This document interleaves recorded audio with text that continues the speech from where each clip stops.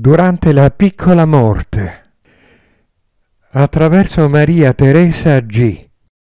Ho compiuto più volte la circumnavigazione della Terra, balzando da un continente all'altro, e una volta ti ho prelevata nottetempo e condotta con me.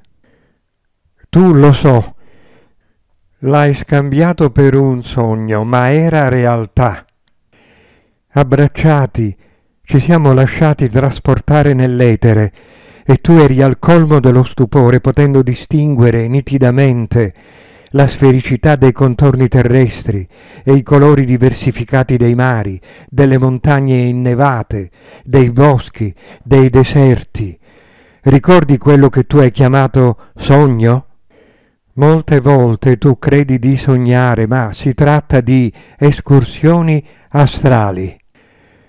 Questa diversità puoi facilmente comprenderla dalla particolare vivezza di quelli che erroneamente ritieni sogni e dall'emozione che ti lasciano dentro.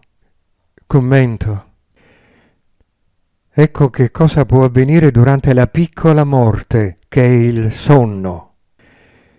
I sogni astrali, che sono i viaggi nel piano astrale, sono veri quando lasciano in chi li ha vissuti la certezza che esistono dimensioni superiori.